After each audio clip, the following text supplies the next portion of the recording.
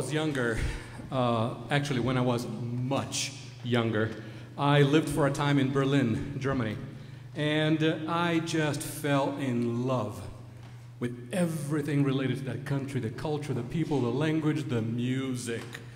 Of course, Berlin Philharmonic Orchestra doesn't get any better than that.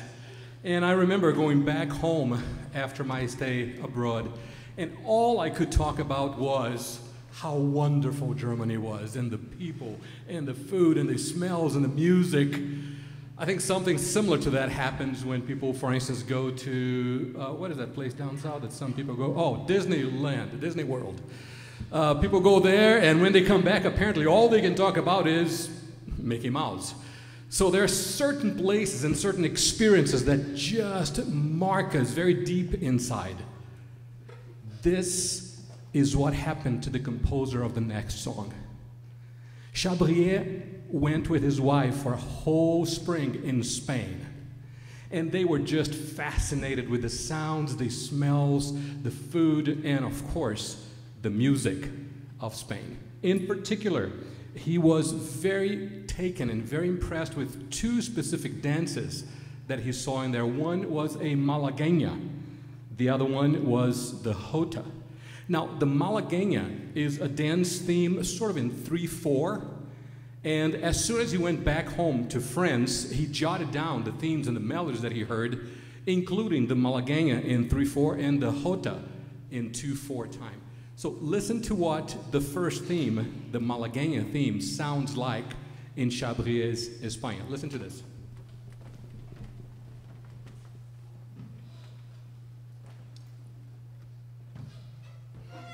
Música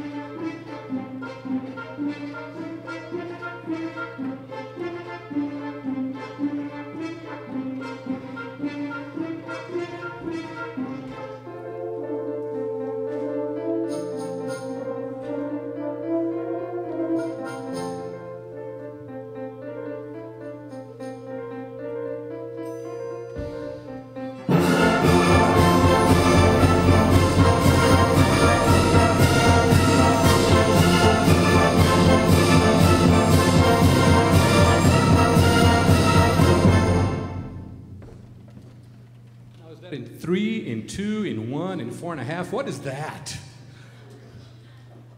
Exactly. That's the intent. So the second theme, uh, the Jota theme, is a little bit more uh, surreptitious. And listen to the treatment that he gives to this particular Spanish melody in this composition.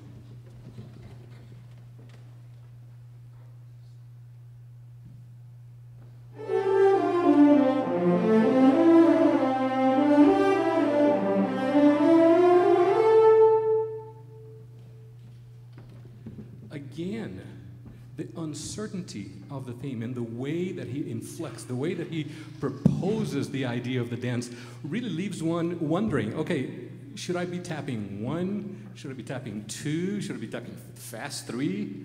Well, whatever you do, don't dance to this one, okay? This is not going to be the one for you to dance with. Plus, we're Wesleyans, we don't do that anyway. So, but. But uh, this is the beauty of the song. Later on, towards the end, as we reach the coda, you will see both themes combined together as the whole orchestra comes to this dramatic, gorgeous, apotheotic moment at the very end. So this is Chabrier's España Rhapsody.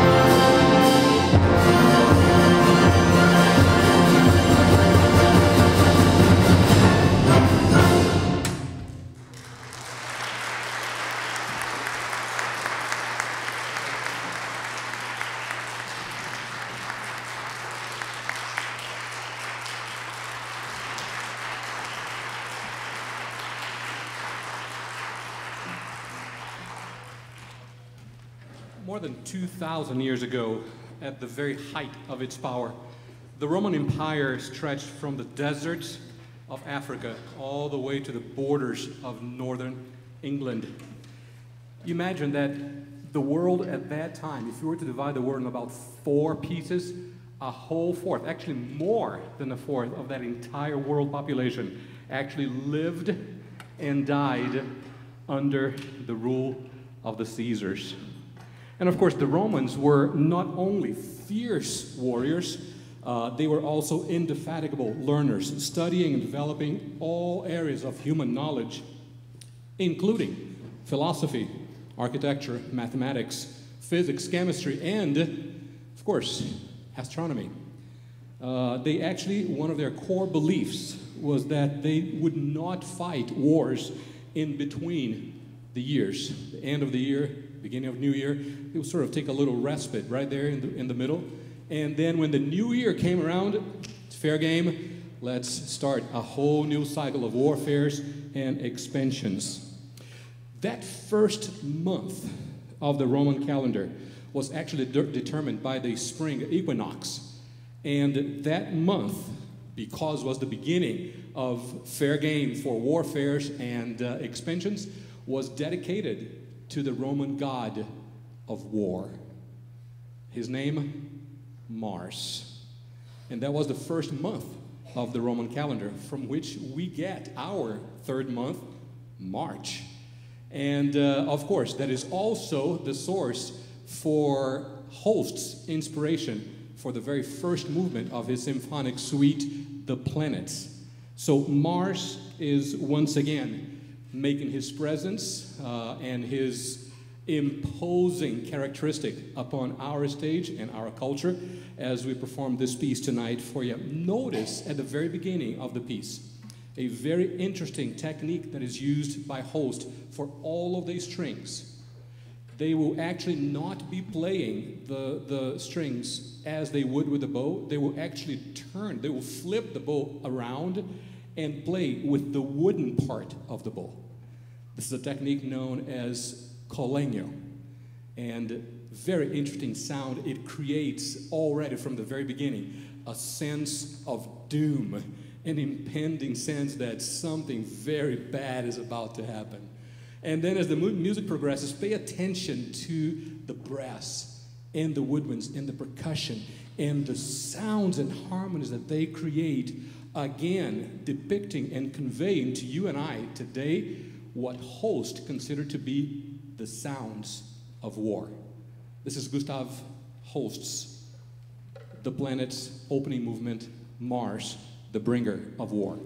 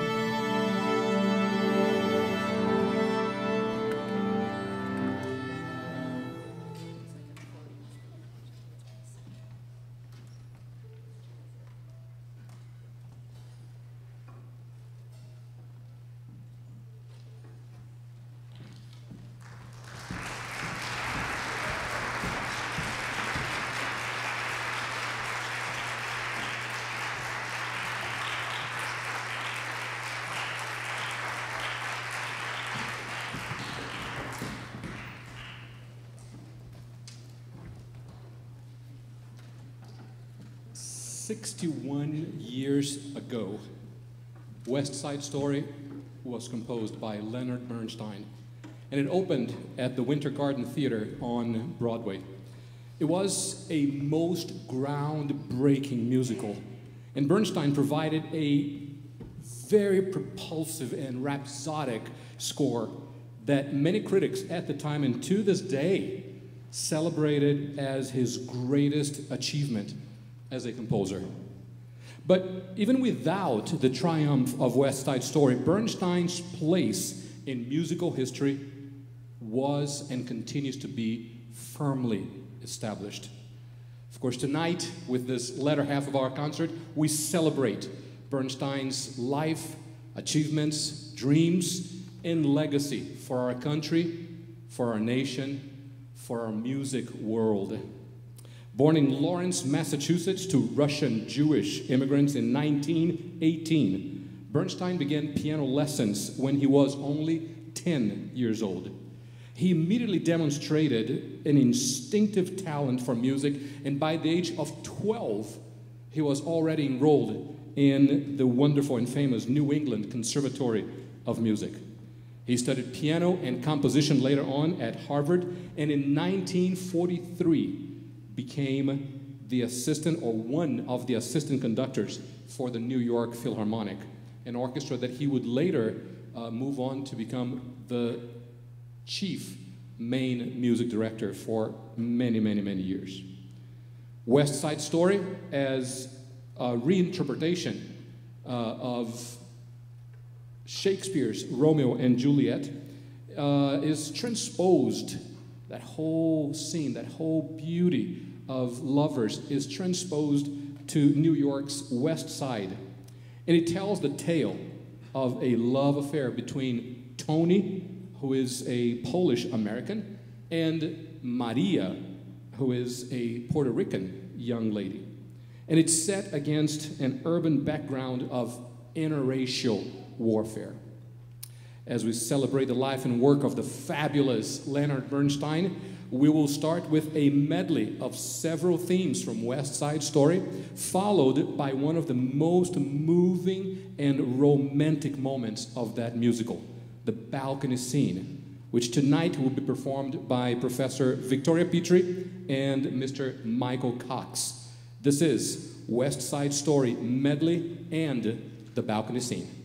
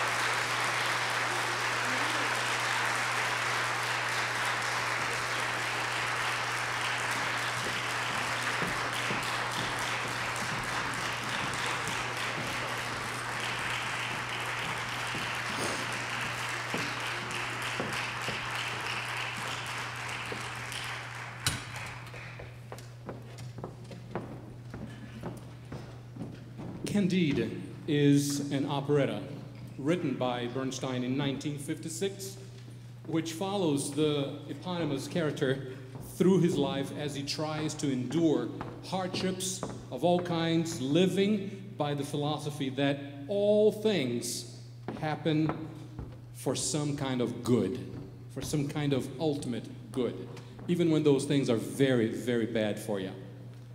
The story comments on social values in regards, in regards to money, in regards to relationships, slavery, religion, and overall, just the wickedness of mankind and people in general. At the very end of his adventure, Candide buys a farm for his family, for himself, and they're going to live together forever. And, well, I'll, I'll let you hear about all of that in a little bit. I won't jump the gun for you. But before that, Candide, as an operetta, also received a very special treatment of an overture. An overture is just a piece that composers write as an introductory uh, element for a larger work, uh, and this is one such case Candide Overture. We start with that overture, which presents various and beautiful, sort of this gorgeous collage of different numbers, different scenes of the operetta. And following the overture, uh, Professor Amanda Cox, our voice professor and coordinator of the voice area, will introduce us to uh, the daughter of a German baron who is kidnapped by her family's arch enemies, the Bulgars, and forced not only into exile, but also into slavery in Paris, France. And despite her captivity, she is showered with jewels and fancy clothes, and she's also fed with the finest food and the finest wines. But all this is actually in exchange for her freedom. The sudden change in her circumstances brings her to a most dreadful conundrum. Does she continue to bemoan her terrible predicament, or does she instead focus on the diamonds and finery, choosing instead to be glitter and gay? This is Bernstein's Candide Overture, followed by Glitter and Be Gay.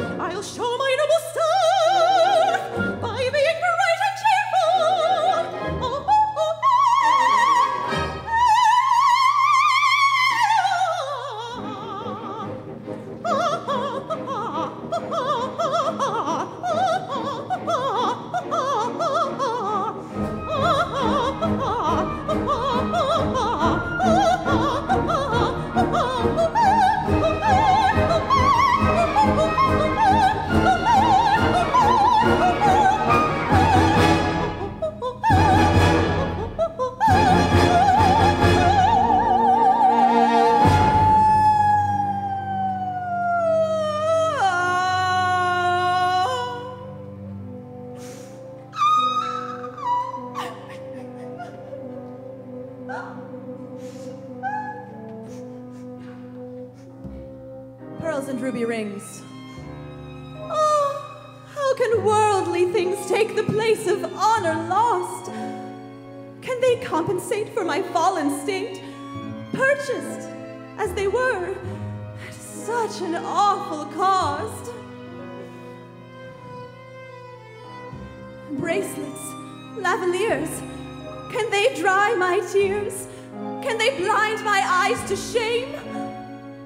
Can the brightest brooch shield me from reproach? Can the purest diamond purify my name? And yet, of course, these trinkets are endearing. Ah, I'm also glad my sapphire is a star. Ah, I rather like a 20 carat earring. Ah, if I'm not pure, at least my jewels are.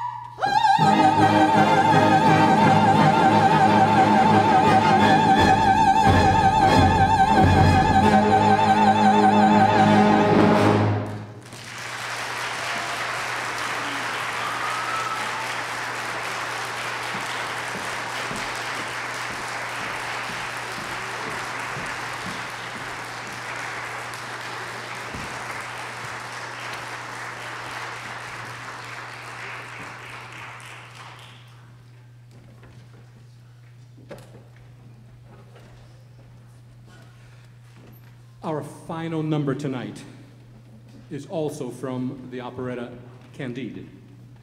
Perhaps the point that Bernstein is trying to make in Candide, which comes as a very timely reminder for all of us here tonight, is simply this life, many times, is not only nonsensical, but it's also unpredictable, full of turns and unexpected surprises, some of them good, some of them not as much.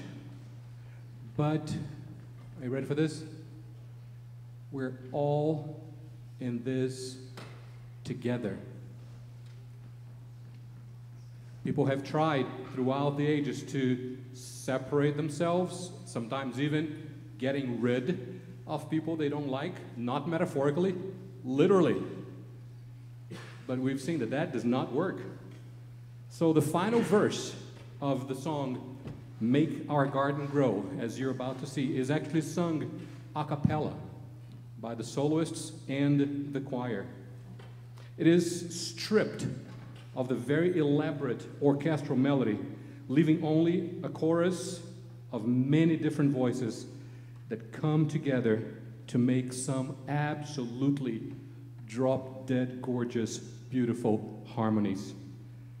It is also a powerful reminder that we are all, all flawed.